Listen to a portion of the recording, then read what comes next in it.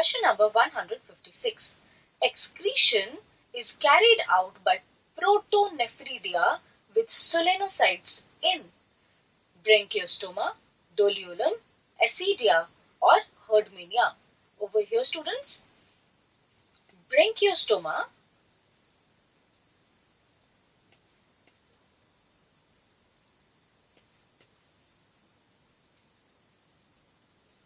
is a urochordate also commonly called lancelets.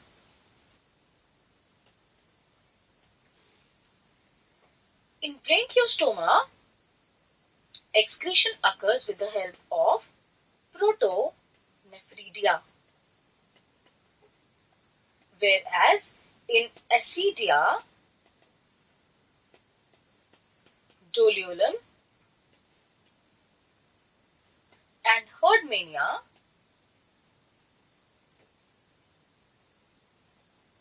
excretion occurs through neural gland.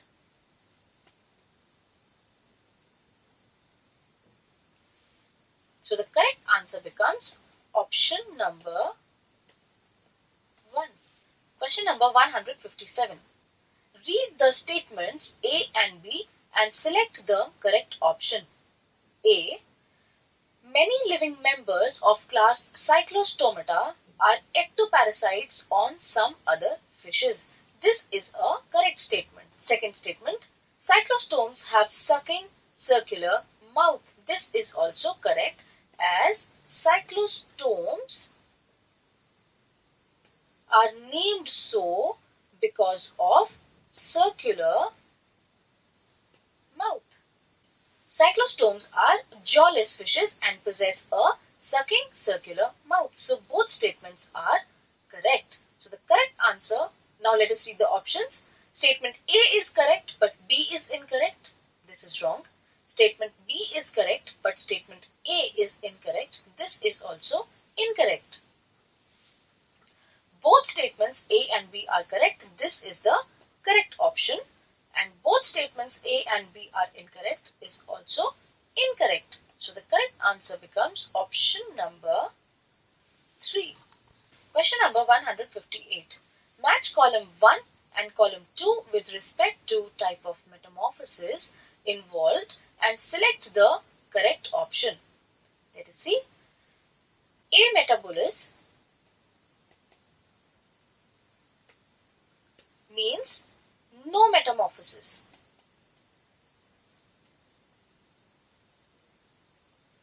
which is exhibited by silverfish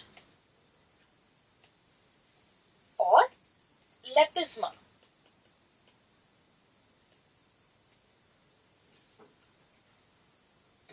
Paurometaboly or paurometabolous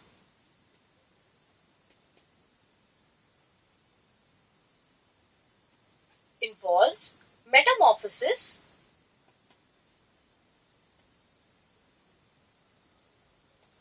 with gradual development.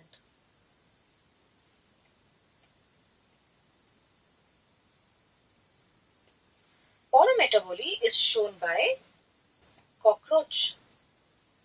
Hemimetaboly is a phenomena with incomplete metamorphosis. Exhibited by mayfly. Holometaboly is complete metamorphosis.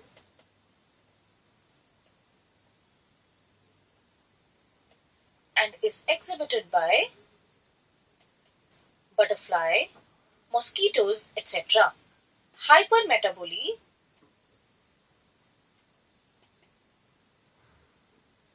involves many larval stages, each different from the other. This is exhibited by beetles. So let us match the options. A metabolus should match with silverfish. That is A should match with 2. So we are seeing option number 1 and 3. Paurometabolous should match with cockroach. That is B should match with 4. Holometabolous is butterfly. That is complete metamorphosis. And hypermetabolous is blister beetle. So the correct answer becomes option number 3. Let us move on to the next question. Question number 159. Air sacs connected to lungs supplement respiration. They are characteristics of Psittacula, Testudo, Chelone or Macaca. Here, Psittacula is parrot and belongs to class Aves. Testudo is tortoise and belongs to class Reptilia. Chelone is turtle also belongs to class Reptilia whereas macaca is monkey and belongs to class Mammalia. Students, in birds, air sacs help more oxygen to be absorbed from air into the blood for extra energy that the bird needs. But air sacs are not the place or not the site of gaseous exchange. They just assist in respiration. So the correct answer here becomes Psittacula that is parrot. Correct answer becomes option number 1. Question number 160. An egg-laying animal with a diaphragm to facilitate respiration is. Here students we know that the presence of diaphragm is a characteristic of mammals. So we have to identify an egg-laying mammal. Delphinus is incorrect as it is viviparous. Delphinus is dolphin and is incorrect as it is viviparous. 2. Neophron is also incorrect. Neophron is a bird and lacks diaphragm. 3. Ornithorhynchus is correct as Ornithorhynchus is a monotreme. That is, it is an egg-laying mammal. Struthio is also incorrect as Struthio is a bird which lacks diaphragm. So the correct answer becomes option number 3 that is Ornithorhynchus. Let us proceed to the next question.